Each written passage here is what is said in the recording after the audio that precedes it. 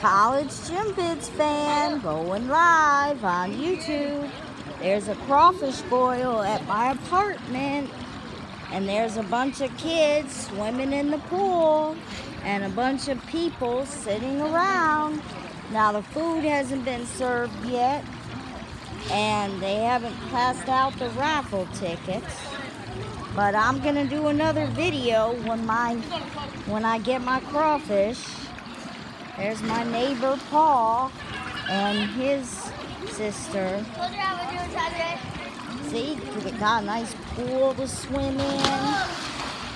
Somebody just jumped in the pool. Hit the big red button and subscribe. Peace out, YouTube.